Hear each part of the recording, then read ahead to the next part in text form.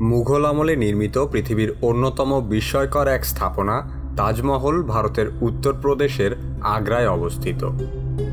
তাজমহলের মতো এমন নিদর্শন পৃথিবীতে আর দ্বিতীয়টি খুঁজে পাওয়া যাবে না।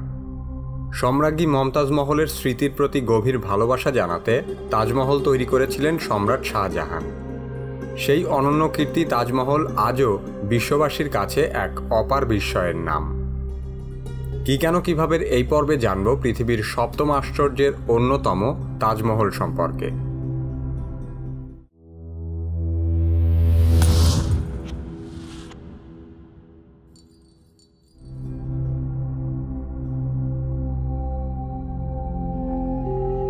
তাজমহলের স্বপ্নদ্রষ্টা মুঘল সম্রাট শাহাবুদ্দিন মুহাম্মদ শাহজাহান।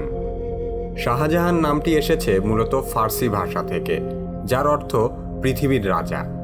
তিনি ছিলেন বাবর, হুমায়ুন, আকবর এবং জাহাঙ্গীরের পরে পঞ্চম মুঘল সম্রাট।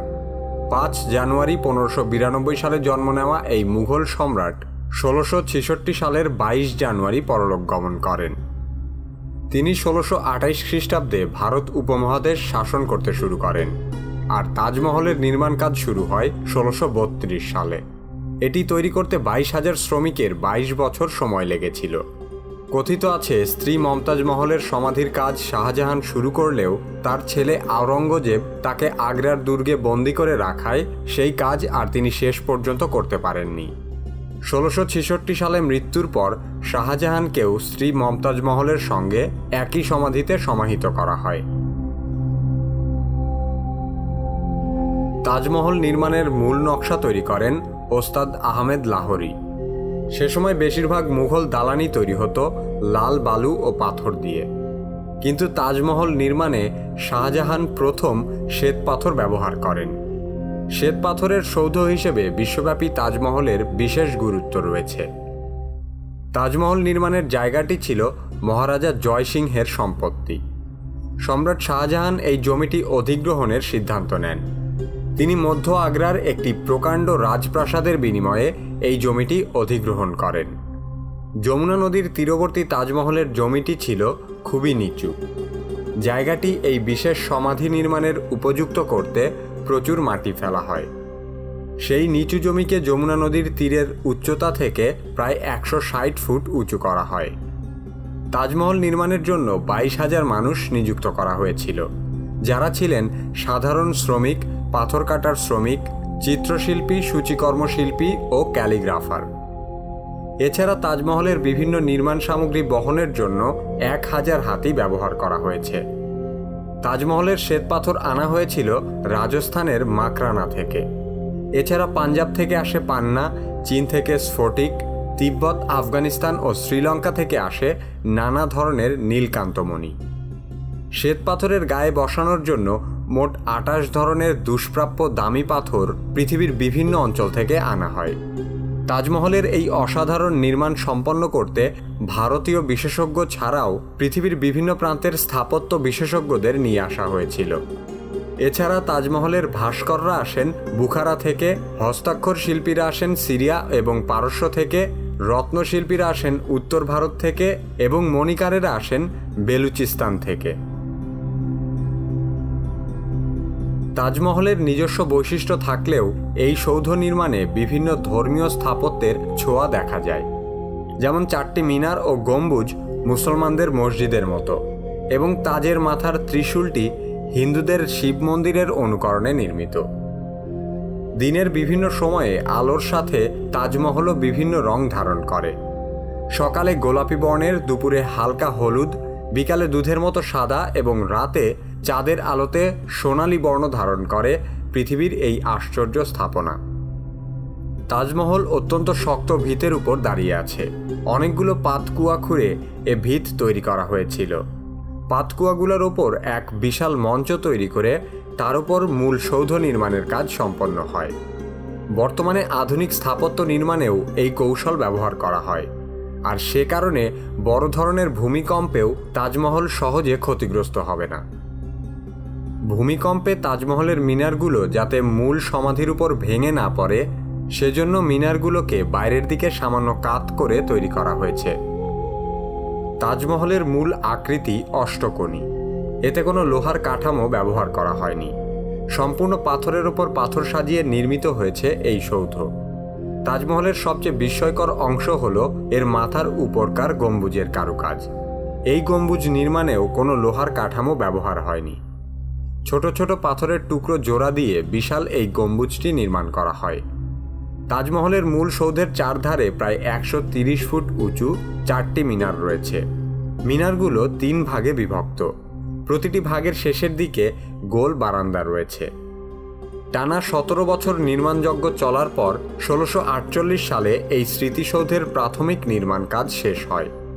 নির্মাণ কাজ শেষ হলেও এর সৌন্দর্য বর্ধন চলতে থাকে। আশপাশের কাজু বাগান এবং তিন দিকের তিনটি প্রবেশদ্বার সহ পুরোপুরি শেষ হতে আরও পাঁচ বছর সময় লাগে। তাজমহল সম্পর্কে একটি বহু প্রচলিত ভ্রান্ত ধারণা হল, তাজমহল নির্মাণ শেষ হওয়ার পর সম্রাট শাহজাহান শ্রমিকদের হাত কেটে ফেলার নির্দেশ দেন, যাতে কেউ পুনরায় তাজমহল তৈরি করতে না পারে। কিন্তু এটি সম্পূর্ণ ভিত্তিহীন একটি গল্প।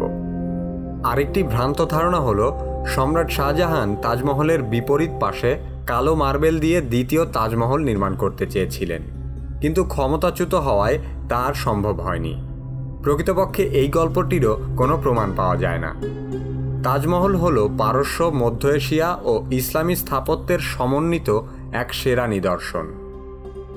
তাজমহলের ভেতরে ও বাহিরে চমৎকার ক্যালিগ্রাফি আছে। মমতাজ মহলের সমাধির পাশে তার পরিচিতি ও প্রশংসামূলক ক্যালিগ্রাফি দেখা যায়। সমাধিক্ষেত্রের দেয়ালে রয়েছে আল্লাহর নিরানব্বই নামের ক্যালিগ্রাফি। তবে তাজমহলের আসল সৌন্দর্য হল এর প্রবেশদ্বারের বিশাল ক্যালিগ্রাফি। এসব ক্যালিগ্রাফিতে পবিত্র কুরআনের বিভিন্ন আয়াত অঙ্কিত হয়েছে।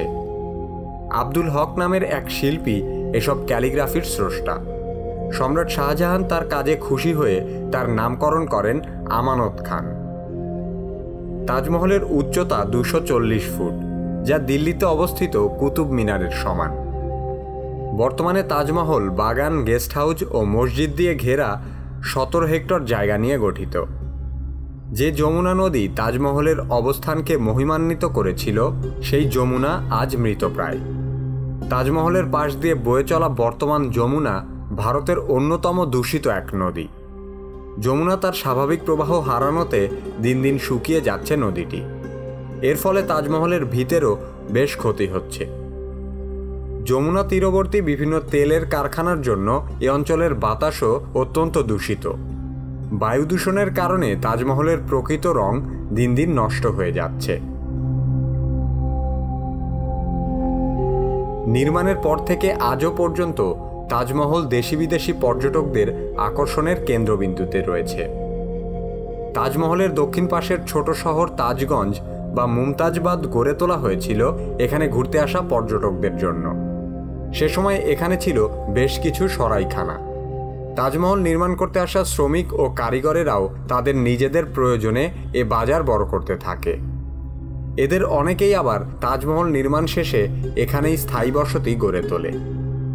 তাজমহল ভারতের সবচেয়ে জনপ্রিয় পর্যটন কেন্দ্র। বর্তমানে প্রতি বছর প্রায় বিশ থেকে তিরিশ লক্ষ পর্যটক তাজমহলে ঘুরতে আসে। ভারতের বাইরে থেকে প্রায় দুই লক্ষ পর্যটক শুধু তাজমহল দেখার উদ্দেশ্যেই ভারতে আসে। সবচেয়ে বেশি পর্যটক আসে অক্টোবর থেকে ফেব্রুয়ারি মাসের মধ্যে। বায়ু দূষণকারী যানবাহনে চড়ে তাজমহলের কাছে যাওয়া সম্পূর্ণ নিষিদ্ধ। তাই পর্যটকদের গাড়ি রাখার স্থান থেকে পায়ে হেঁটে অথবা বৈদ্যুতিক বাসে করে তাজমহলে যেতে হয়। বর্তমানে তাজমহল দর্শনে ভারতীয়দের জন্য নির্ধারিত প্রবেশ মূল্য মাত্র পঞ্চাশ রুপি। সার্কভুক্ত দেশের পর্যটকদের জন্য প্রবেশ মূল্য পাঁচশো চল্লিশ রুপি। আর বিশ্বের অন্যান্য দেশের পর্যটকদের জন্য প্রবেশ মূল্য এক হাজার একশো রুপি। এছাড়া মূল সমাধিক্ষেত্রের মধ্যে প্রবেশ করতে চাইলে ভারতীয় সহ সকল পর্যটকদেরকেই অতিরিক্ত দুইশো রুপি মূল্যের টিকিট নিতে হয়। দু হাজার চোদ্দ সাল থেকে পর্যটকদের সুবিধার্থে তাজমহল পরিদর্শনের জন্য অনলাইন টিকিটের ব্যবস্থা করেছে আর্কিওলজিক্যাল সার্ভে অফ ইন্ডিয়া। তাজমহলের মতোই পৃথিবীর বুকে আশ্চর্যজনক এক স্থাপনা হল পিরামিড। হাজার হাজার বছর ধরে পিরামিডই ছিল মানুষের তৈরি সবচেয়ে বড় স্থাপনা। সকল ধরনের আধুনিক প্রযুক্তি ব্যবহার করেও বর্তমান যুগে এত বড় নির্মাণযজ্ঞ এক বিশাল চ্যালেঞ্জ। পৃথিবীর সপ্তম আশ্চর্যের সবচেয়ে প্রাচীন নিদর্শন পিরামিড সম্পর্কে জানতে কি কেন কীভাবে এই ভিডিওটি দেখুন। কি কেন কীভাবে চ্যানেলে আপনি নতুন হলে এই চ্যানেলের অন্যান্য ভিডিওগুলোও দেখতে থাকুন। এ ধরনের ভিডিও নিয়মিত দেখতে চাইলে কি কেন কীভাবে সাবস্ক্রাইব করুন? আমাদের পরবর্তী ভিডিও আপলোড হওয়ার সাথে সাথে দেখতে চাইলে সাবস্ক্রাইব বাটনের পাশে বেল আইকনটিতে ক্লিক করুন। এই ভিডিওটি ভালো লাগলে লাইক করুন, বন্ধুদের সাথে শেয়ার করুন। আমাদের চ্যানেলে কি কি ধরনের ভিডিও দেখতে চান তা কমেন্টে লিখে জানান।